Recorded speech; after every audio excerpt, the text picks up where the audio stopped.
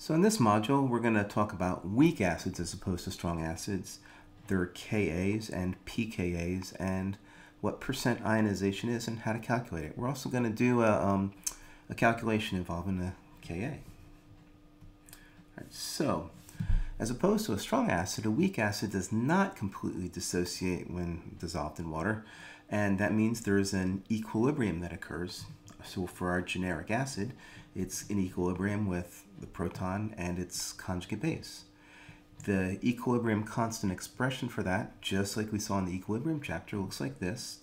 Uh, this is just called something different, slightly different. It's called Ka instead of K.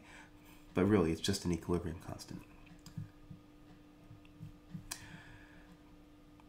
We can also, uh, we also have what's called a pKa, and it's defined the same way that pH or POH or anything like that is defined. It's just a negative log base 10 of that value. So in this case, negative log base 10 of the Ka. You can look up, there's all kinds of tables of Kas or pKas for acids. For example, this small table right here lists the formula, the name, the Ka, and the pKa. Couple things to note about this. First of all, the larger the Ka, the stronger the acid. Because if you go back and look at the equilibrium constant expression, a larger value of Ka means the numerator is bigger, the denominator is smaller, which means there's more hydrogen ion or hydronium ion around at equilibrium, meaning it's more dissociated, meaning it's a stronger acid. Now the, the reverse is true for the pKa. The smaller the pKa, the stronger the acid, just like the lower the pH, the more acidic the solution and we got we got I just threw a few numbers on here. I did this one here, this one, and this one. So once we know the Ka or, or pKa, we can do some calculations. For example, let's say we have a solution of nitrous acid and it's 0.392 molar in nitrous acid. What's the pH of this solution?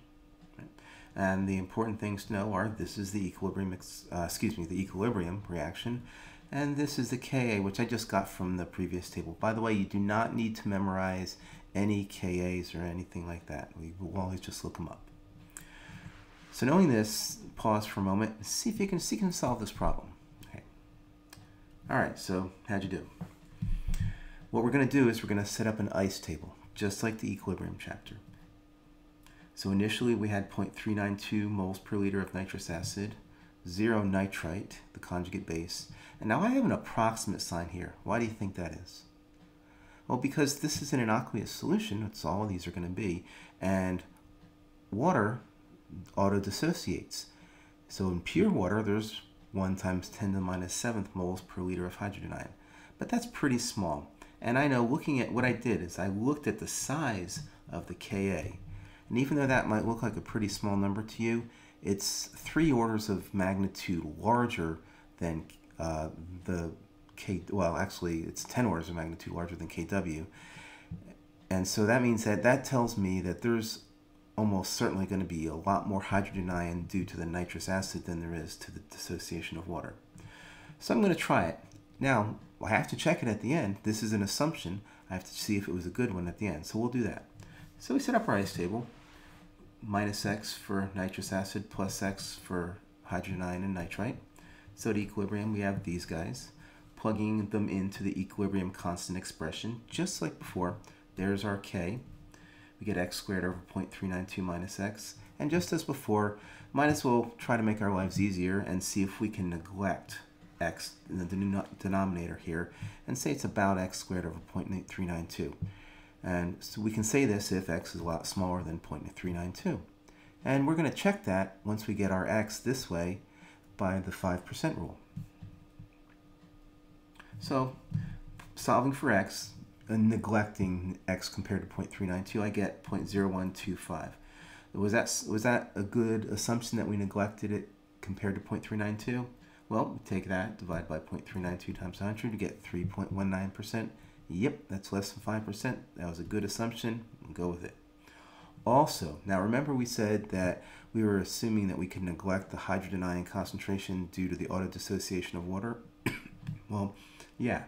this is a really good assumption because 0.0125 is a lot bigger than 1 times 10 to the minus 7th. So that would not have affected our answer. But you should always check that. There are times when you cannot neglect that hydrogen ion that's due to the auto-dissociation of water. You'll see this in the homework problems. So we found X, which is, in this situation, the concentration of hydrogen ion.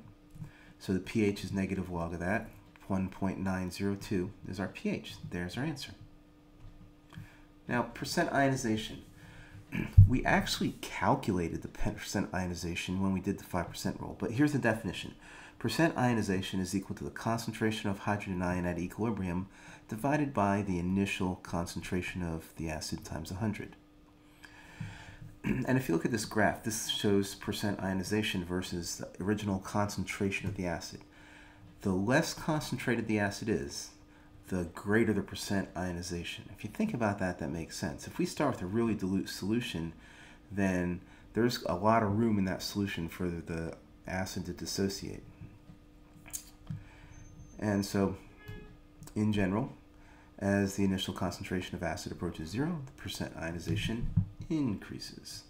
So let's go ahead and calculate the percent ionization for that problem we just did. So a 0.392 molar solution of nitrous acid, we just calculated what the equilibrium concentration of the hydrogen ion was, 0.0125, divided that by the initial concentration of the acid, the nitrous acid times 100, 3.19%.